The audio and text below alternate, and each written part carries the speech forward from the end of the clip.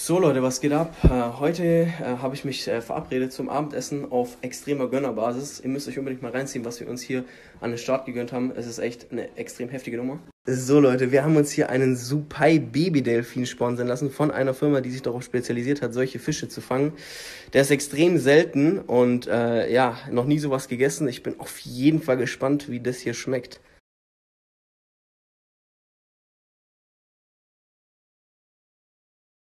Also meine Freunde, wir braten hier ein bisschen die ersten Stücke an. Und ja, sieht auf jeden Fall sehr schmackhaft aus, muss ich sagen. Ich habe richtig Kohldampf. Gönner Lifestyle auf diesen Abend, Freunde. Nice, Alter. Boah, verschickt. Schmeckt ein bisschen nussig irgendwie, gell? Komplett anderer Geschmack, Wahnsinn. Ja, man, ist echt krass Das geil, ich Mann. noch nie probiert. Heftig.